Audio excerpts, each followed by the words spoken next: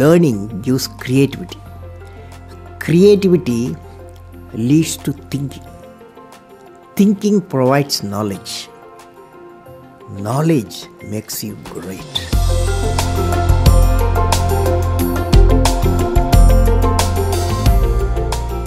I have a feeling whenever I give something, I feel happy. That uh, whatever you may have knowledge, you have sometimes better economy you may have.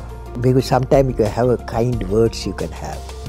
So if you use and make somebody's life happy, that is you are giving, and his or her life is uh, happy. That's the best thing a human being can think of.